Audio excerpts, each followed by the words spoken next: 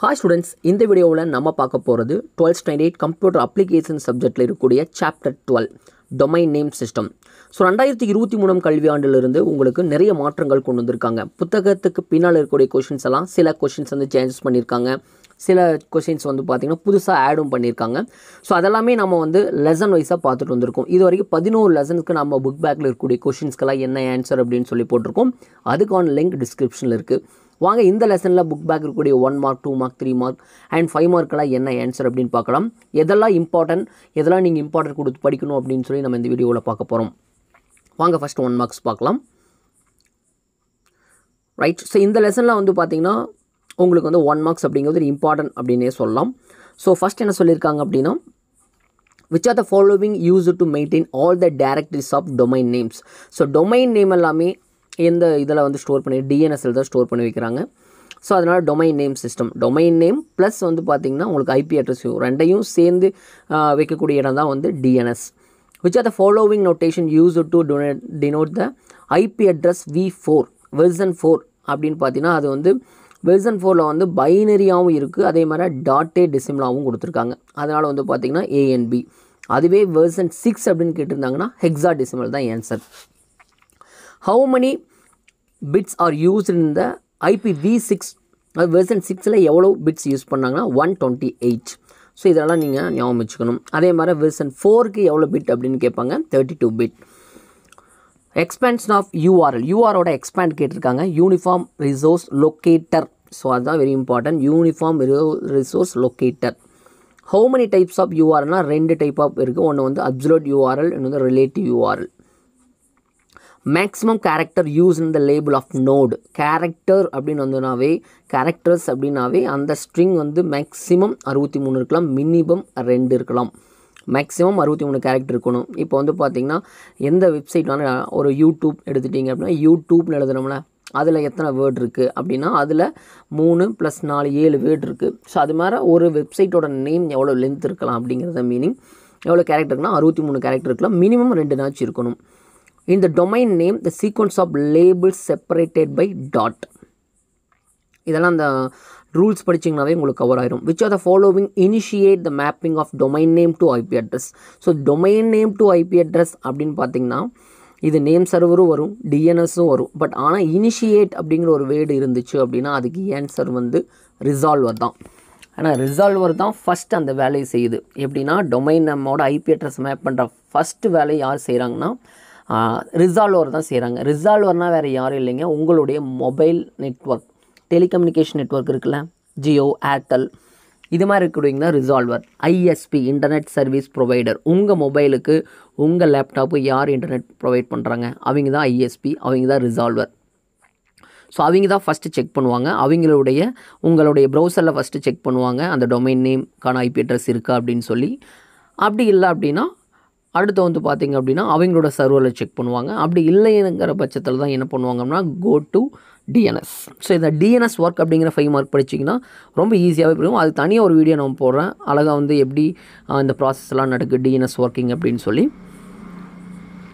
Right ninth ஒன்று பார்க்கலாமா? First ஒன்று பார்த்தீங்கன்னா நைன்த் வந்து ஈஸியாக எழுதலாம். Two mark contiguous area of the server access அப்படிங்கிற பார்த்தீங்கன்னா அதுக்கு zone and tenth one root name server are maintained by ICANN so இது வந்து அந்த நேம் சர்வர் அப்படின்னு கொஸ்டின் படுத்திங்கன்னா அதில் உங்களுக்கு கவர் ஆயிரும். த்ரீ மார்க் பொறுத்தவரையிலும் இம்பார்ட்டன்ட் த்ரீ மார்க் அப்படின்னு பார்த்தீங்கன்னா டூ த்ரீ ஃபைவ் தான். இந்த two three five and six நான் சொல்ல மறந்துட்டேன். சிக்ஸும் ரிசால்வ் வாட் இஸ் ரிசால்வ் வரும்? ஒரு இம்பார்ட்டன்ட் கொஷின்ஸ் தான் நாலு கொஷின் நல்லா கவர் பண்ணிக்கங்க. லிஸ்ட் எனி ஃபோர் டொமைன் நேம்ஸ்னால் நீங்கள் எந்த நேம் அது லிஸ்ட் அவுட் ஃபோர் யூஆர்எல்ங்கன்னா உங்களுக்கு தெரிஞ்ச யூஆர்எல் எழுதிக்கலாம்.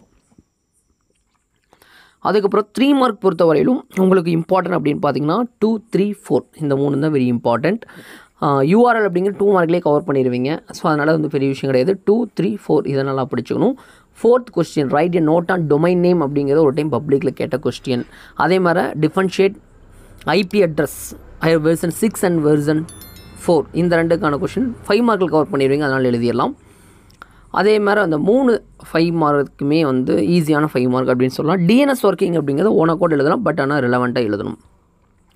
இப்போ வாங்க ஒவ்வொன்றுக்கும் என்ன ஆன்சர் அப்படின்னு போடலாம். List out any any four domain names so ஒரு ஃபோர் டொமைன் நேம்ஸை எழுதியிருக்காங்க கேட்டிருக்காங்க. ஸோ இதுக்கு என்ன ஆன்சர் அப்படி அப்படிங்கிறத பார்க்கலாம்.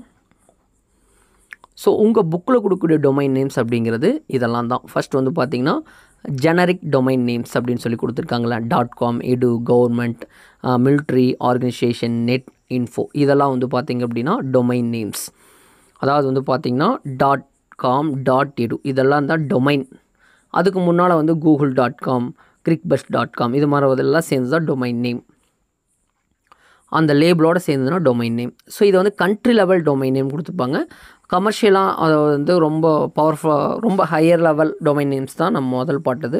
ரெண்டாவது வந்து அந்த கண்ட்ரிக்குன்னு சில டொமைன் நேம்ஸ் கொடுத்துருக்காங்க. ஐஎன் யூஎஸ் ஸோ இதெல்லாம் ஒன் மார்க்கில் கேட்பேன் ஃபார் எக்ஸாம்பிள் சிஎன் அப்படிங்கிறது வந்து பார்த்திங்கன்னா சைனாவுக்குரிய கனடாவுக்கு வந்து சிஏ இப்படிங்கிறது எல்லாமே ஞாபகம் வச்சுக்கணும். இந்தியாவுக்கு வந்து ஐஎன் அப்படின்னு சொல்லுவோம். இந்த ஃபஸ்ட்டு கொஷினுக்கு இதெல்லாம் இவ்வளோ எழுதணுமா அப்படின்னா வேண்டியதில்லை. டாப் லெவல் டொமைன் நேம்ஸில் ஒரு நாலு. இப்போ நான் பார்த்துட்டு இருக்கிறோம்னா இதில் ஒரு நாலு. எழுதிட்டிங்கன்னா அந்த கொஷின் கவர் ஆயிரும். ரெண்டாவது கொஷின் வந்து பார்த்தீங்கன்னா உங்களுக்கு what is an IP address so இது வந்து நீங்கள் ஃபைவ் மார்க்லேயே கவர் பண்ணிடுவீங்க ஐபி அட்ரஸ்னால் என்ன அப்படின்னு சொல்லி. So as well as one மார்க்கில் கூட இருக்குது IP address is a logical address uniquely identify the computer on network there are two types இதை எழுதுனீங்கன்னா போதும். அதுக்கப்புறம் மேலே டிஎன்எஸ்னு ஒரு கொஷின் இருக்குல்ல அது ஒரு இன்சைட் கொஷினாக படிச்சுங்க இப்போது ரெண்டு கொஷின் ஆச்சுல்ல? அது இன்சைட் கொஷின் டிஎன்எஸ் அப்படிங்கிறது. நெக்ஸ்ட் வந்து பார்த்தீங்கன்னா யூஆர்எல்லாம் என்ன? List out URL you know அப்படின்னா நீங்கள் ஏதோ ஒரு நாலு யூஆர்எல் எழுதிக்கலாம். யூஆர்எல் அப்படிங்கிறது வந்து பார்த்தீங்க அப்படின்னா இந்த ஃபோர்த் பாயிண்ட்டை எழுதிக்கணும். One two three four fifth point எழுதிக்கணும். URL uniform list locator is address of domain of address of document on the internet URLs classify in two types one absolute URL relative URL URL வந்து பார்த்தா அப்படின்னா நீங்கள் ஏதோ உங்களுக்கு தெரிஞ்ச URL நாலு URL எழுதிக்கலாம். கம்ப்ளீட்டாக எழுதணும். டபிள்யூ டபிள்யூ டாட் அவ்வளோ ஹெச்டிடிபிலேருந்து எழுதணும். இந்த புக்குகளோட லாஸ்ட் பேஜில் கூட உங்களுக்கு யூஆர்எல்லாம் கொடுத்துருக்காங்க. நீங்கள் அதை கூட நீங்கள் எழு ரைட் இப்போ வந்து பார்த்தீங்கன்னா அடுத்தது URL எழுதிங்கன்னா what is zone what is resolver so இதுவும் வந்து உங்களுக்கு பாயிண்ட் நம்பர்லேயே இருக்குது ஜோன் அப்படிங்கிறது இதிலே எழுதிக்கலாம். ரிசால்வருங்கிறவும் இதற்கு ஆன்சர் இந்த க்ளோசரியில் கொடுத்துருக்காங்களே இதவே எழுதலாம் நீங்கள் டெஃபினட்டாக உங்களுக்கு ஃபுல் மார்க் கிடைக்கும். இந்த ரெண்டு பாயிண்ட்டும் எழுதிக்கங்க. அல்லது வந்து பாயிண்ட்ஸ் ரொம்பலேயே ஜோன்னா கொடுத்துருக்காங்க. இந்த ரெண்டு பாயிண்ட் கூட நீங்கள் எழுதலாம் எழுதலாம். ரைட் அதுக்கப்புறம் வந்து ரைட் என் ஃபோர் ஜென்ரிக் டா நீங்கள் வந்து இந்த ஃபஸ்ட் கொஸ்டினுக்கு எழுதுனீங்களே அதே ஆன்சர் தான் seventh கொஸ்டினுக்கும் mention the common of DNS அப்படின்னா டிஎன்எஸோட காமனண்ட்டை நாம் எழுதணும். ஸோ அந்த நாலு காமனண்ட் கொடுத்துருப்பாங்க. அந்த நாலுமே நீங்கள் எழுதிக்கணும். இந்த நாலு காமனண்ட்டு நீங்கள் டிஎன்எஸ் காம்பனண்ட் ஆஃப் டிஎன்எஸ் அப்படிங்கும்போது தர த்ரீ காம்பனண்ட் தான் கொடுத்துருப்பாங்க. பட் ஃபோர் காம்பனண்ட் இருக்குது ஃபோர்னு மாற்றிட்டு name space name server zone resolver அப்படின்னு எழுதிக்கிங்க. ரைட் நெக்ஸ்ட் வந்து த்ரீ மார்க்ஸ் போகலாம் right note on URL and its types யூஆர்எல்னால் என்ன? அதனுடைய டைப்ஸை எக்ஸ்பிளைன் பண்ண சொல்லி கேட்டிருப்பாங்க. ஸோ அப்போ நம்ம அந்த யூஆர்எலை பற்றி நம்ம எழுதி தான் ஆகணும் யூஆர்எல்லாம் என்ன? அந்த டைப்ஸை வந்து நம்ம என்ன பண்ணணும்னா எக்ஸ்பிளைன் பண்ணித்தான் ஆக வேண்டும். ஸோ அதுக்கு வந்து ஃபார் எக்ஸாம்பிள் நீங்கள் வந்து இந்த க்ளோசரியில் சாரி இந்த பாயிண்ட் ஸ்டோர் பிறகு எழுதலாம். யூஆர்எல்ங்கிறது first point URL made four பார்ட்ஸ்னு எழுதி அப்சுலட் யூஆர்எல் அப்படிங்கிறது contain all the four necessary and fundamental parts and relative URL அப்படிங்கிறது நம்மளுக்கு file name with folder name just a file name மட்டும் இருந்தால் போதும். அதை மட்டும் இருந்தாவே உங்களுக்கு ரிலேட்டடாக சர்ச் பண்ணி எடுத்துக்கலாம் அப்படிங்கிறாங்க. ஸோ இந்த ரெண்டு யூஆர்எலும் நல்லா எழுதிக்கிங்க. ஸோ இது எழுதுனாவே போதும். பாயிண்ட்ஸ் நம்பர் கவர் பண்ணிங்கனாவே அதில் மூணு மார்க் உங்களுக்கு ஸ்கோர் ஆயிடும் மூணு பாயிண்ட் நீட்டாக போட்டு எழுதுறீங்க டிஃபன்ஷியேட் இதில் தான் வந்து பார்த்திங்கன்னா between absolute URL and relative URL இப்போ ஒரு ரெண்டு பாயிண்ட் வந்து இதுலேருந்து எடுத்துக்கலாம் நீங்கள் அப்சலூட் யூஆர்எலுக்கும் இது கூட யூஆர்எலுக்கோட பாயிண்ட்டை வந்து நீங்கள் என்ன பண்ணிக்கலாம்னா எடுத்துக்கலாம். ஃபஸ்ட்டு வந்து அந்த ரெண்டு பாயிண்ட்டுமே வந்து பார்த்தீங்கன்னா absolute URL contain all the four necessary and fundamental parts of URL அதுக்கு ஆப்போசிட்டாக relative URL contain the file name with folder name just or just a file name மட்டும் இருந்ததுன்னா போதும் அப்படின்னு சொல்கிறாங்க ஸோ இதில் வந்து பார்த்தீங்கன்னா உங்களுக்கு இப்போ ஏதாச்சும் ஒரு ஒரு மூவியை டவுன்லோட் பண்ணணும் ஒரு லிங்க் அனுப்புகிறாங்க அப்படின்னா அது கம்ப்ளீட் பார்த்துருக்கும். அதுதான் அப்சல்யூட் யூஆர்எல் அப்படின்னு நம்ம சொல்கிறோம் ரிலேட்டிவ் யூஆர்னால் ஜஸ்ட் நம்ம அந்த ஃபைல் நேம் மட்டும் போட்டால் போதும். நம்மளுக்கு வந்து அந்த யூஆர் கனெக்ட் ஆகும் அப்படின்னு சொல்லியிருக்காங்க. ஸோ நம்ம வந்து இதில் வந்து நீங்கள் இப்போ என்ன பண்ணோன்னா ஃபஸ்ட் பாயிண்ட் எழுதிட்டு அதுக்கப்புறம் நீங்கள் வந்து அந்த லா ஒரு மூணு பாயிண்ட்டை எடுத்து எழுதிக்கலாம். Similarly if any of the four parts is missing then browser will not able to link to the specific file இதில் அப்படி கிடையாது. இதை வந்து பார்த்திங்கன்னா only file name and folder name மட்டும் அப்படின்னு நீங்கள் எழுதிக்கலாம். When we use this type of URL when a file on the same server related to the current document so இதில் என்ன சொல்கிறாங்க அப்படின்னா அதே சர்வரில் இருந்தால் மட்டுமே உங்களுக்கு ரிலேட்டிவ் ஆவல் எடுபடும். நீங்கள் வந்து அப்படி வந்து செட் ஆகாது. நம்மளுக்கு ஏன் காரணம் என்ன பார்த்தீங்கன்னா சர்வர் ஒரு இடத்துல இருக்கும் நம்ம கம்ப்யூட்டர் ஒரு இடத்துல இருக்கும். அந்த இடத்துல அது ரெண்டு ரிலேட்டிவ்னு சொல்லவே முடியாது. ஸோ ரிலேட்டிவ் யூஆர்எல் அப்படிங்கிறது நீங்கள் வெப்சைட்டை ஒரே கம்ப்யூட்டரில் வச்சுருந்தா மட்டும்தான் உங்களால் இது பண்ண முடியும். ஸோ இதில் இருக்கிற மூணு பாயிண்ட் பிரித்து பிரித்து எழுதிக்கங்க. நம்ம மோஸ்ட்லி வந்து பார்த்திங்கன்னா நம்ம வந்து ஒரு கா கம்ப்யூட்டர் மொபைல்லேருந்து கனெக்ட் பண்ணுறோம் ஸோ அப்படிங்கும்போது அது வந்து அப்சல்யூட் யூஆர்எலாக தான் இருக்க முடியும். ரிலேட்டிவ் யூஆர்எல் அப்படிங்கிறது ஓன் வெப்சைட் நம்ம க்ரியேட் பண்ணிவிட்டு அந்த வெப்சைட் வந்து நம்ம கம்ப்யூட்டரை யூஸ் பண்ணி தான் க்ரியேட் பண்ணியிருப்போம். லேப்டாப் யூஸ் பண்ணி தான் க்ரியேட் பண்ணியிருப்போம். அப்போ நம்ம வந்து ஃபைல் நேம் மட்டும் கொடுத்தா அந்த வெப்சைட் நம்மளுக்கு கனெக்ட் ஆகிரும் ஸோ அது ரிலேட்டிவ் யூஆர்எல் அப்படிங்கிறோம்.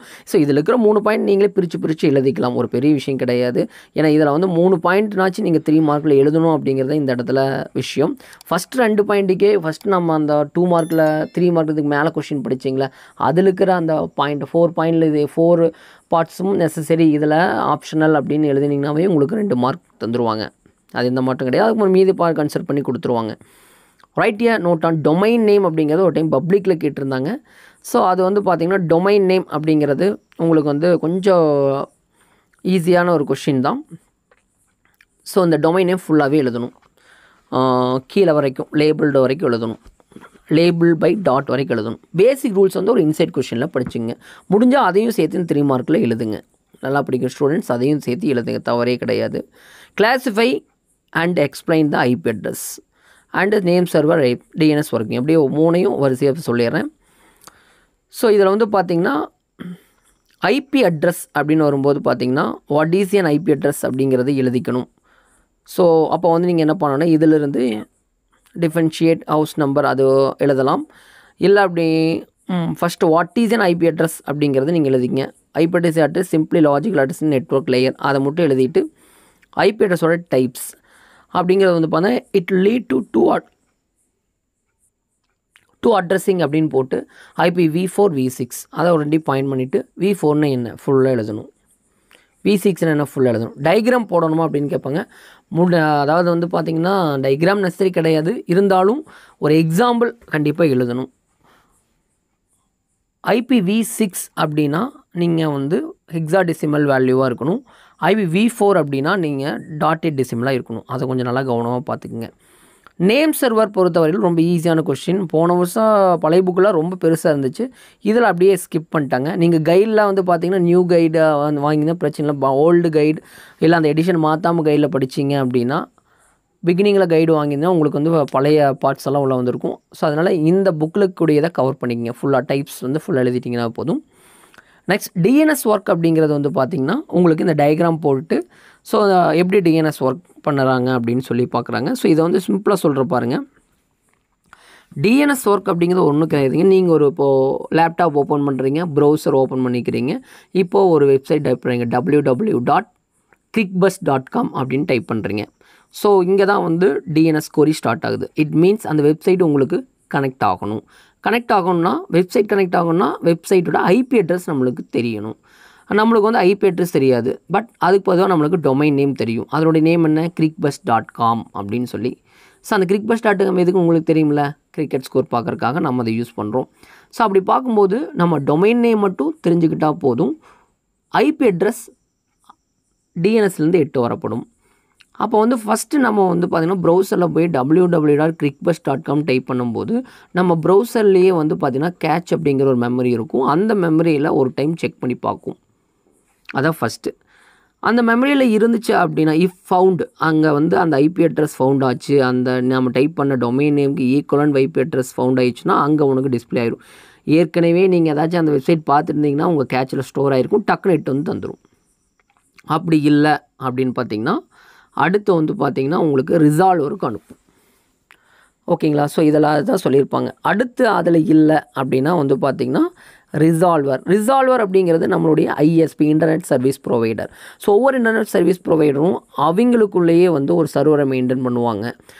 ஏர்டெல் ஜியோ அவங்க தான் ஐஎஸ்பி இன்டர்நெட் சர்வீஸ் அவங்களுடைய சர்வரில் வந்து எங்கேயாவது ஒருத்தன் வந்து அந்த வெப்சைட்டை கனெக்ட் பண்ணியிருந்தாலும் சரி ஃபெமிலியான வெப்சைட்னா அதுக்கான ஐபி அட்ரஸ் ஸ்டோர் ஆகிருக்கும் ஸோ அவன் சர்வரில் செக் பண்ணி பார்ப்பாங்க. அங்கேருந்துன்னா எட்டு வந்து உன் மொபைலில் உன்னோட ப்ரௌசருக்கு தந்துடுவாங்க ப்ரௌசர் சேவ் பண்ணி வச்சுக்கும். ஒருவேளை அங்கே இல்லை ஒரு புது வெப்சைட்டாக இருக்குது அப்படின்னா அடுத்தது தான் என்ன ஆகும் அப்படின்னா positive DNS query next top level டொமைனுக்கு அங்கே போகும். அங்கே போகும்போது அங்கே ஒவ்வொரு சர்வராக ரூட் சர்வருக்கு போகும். அங்கே போய் அது டாட் காமா டாட் இன் அப்படிங்கிறது செக் பண்ணும். ஒரு வேளை டாட் காமா தான் டாட் காம் சர்வருக்கு அனுப்பும். டாட் காம் சர்வர் அங்கே அதை பார்த்து எந்த லெட் ஆல்பபெட்டிக்கில் வருதுன்னு அங்கே அனுப்பி அதிலிருந்து டேரெக்டாக லோக்கல் சர்வர் எங்கே அப்படின்னா டிஎன்எஸ் ரிசால்வருக்கு வரும். ரிசால்வர் அப்படிங்கிறதுனா ஐஎஸ்பி நம்மளுடைய ஜியோ ஏர்டெல் அப்படின்னு சொல்கிறோம் அவன் ஒன்ஸ் டிஎன்எஸ்எல்ல வாங்கி அவன் ஸ்டோர் பண்ணி வச்சுக்குவான். ஸ்டோர் பண்ணி வச்சு மறுபடியும் ப்ரௌசர் கணும். ப்ரௌசர் நம்ம ப்ரௌசரை ஸ்டோர் பண்ணி வச்சுக்கோம் வேறு எங்காச்சும் அதை மொபைல்லேருந்து ஒருத்தர் கனெக்ட் பண்ணும்போது ரிசால்வர் ஒருவேளை அந்த சேம் நெட்ஒர்க்லேருந்து வந்தா அப்படின்னா அவனுடைய இதுலேருந்து எடுத்து தரும். புதுசாக ஒரு வெப்சைட் நம்ம கனெக்ட் பண்ணுறோம் ஃபஸ்ட் டைம் அப்படின்னா மட்டும்தான் டிஎன்எஸ் கோரி ஃபுல்லாக வரும். இல்லை அப்படின்னா நம்ம ப்ரௌசர்லேருந்து தான் அதனுடைய இனிஷிய இனிஷியல் ஸ்டார்ட் ஆகும். ஸோ அதுதான் இந்த இடத்துல சொல்கிறாங்க ரைட் ஸோ இது எந்தளவுக்கு புரிஞ்சிருக்கு அப்படிங்கிற கீழே இருக்கிற கமெண்ட் பாக்கள் சொல்லுங்கள் இதை தொடர்ந்து அடுத்த லெசன் நம்ம அடுத்தடுத்த வீடியோவில் போடுறோம். நீங்கள் நம்ம சேனலுக்கு புதிதாக இருந்தால் மறக்காமல் சப்ஸ்கிரைப் பண்ணிக்கங்க. தேங்க்ஸ் ஃபார் வாட்சிங்